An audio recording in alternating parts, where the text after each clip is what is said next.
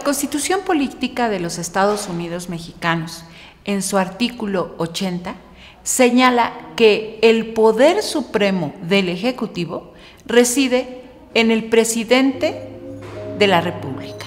Es decir, el poder ejecutivo es unipersonal, un presidente en quien recae tanto las obligaciones y los derechos pues de esta tarea.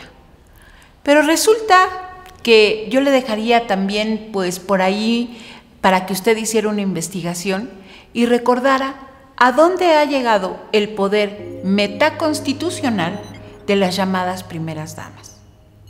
Yendo de adelante hacia atrás, pues hay que revisar nada más el papel del dispendio de la señora Angélica Rivera, esposa de Enrique Peña Nieto, en viajes, en ropas, en zapatos y hasta, bueno, pues en bienes inmuebles.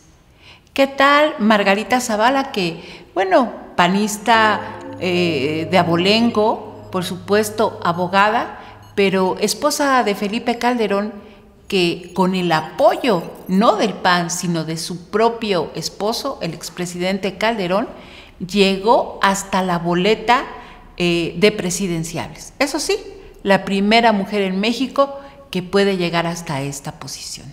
Y bueno, ¿qué tal si hablamos de Martita Sagún, que seguramente usted recuerda?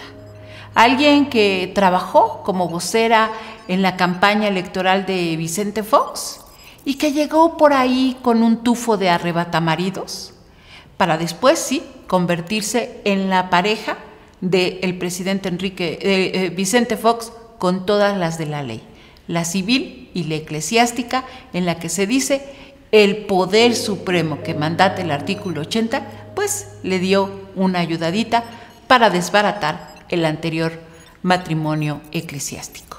Ve usted cómo las primeras damas han hecho pues uso de un poder que no está escrito en ningún lado, pero simplemente con ser esposas del poder supremo ejecutivo, pues han hecho y deshecho en nuestra nación.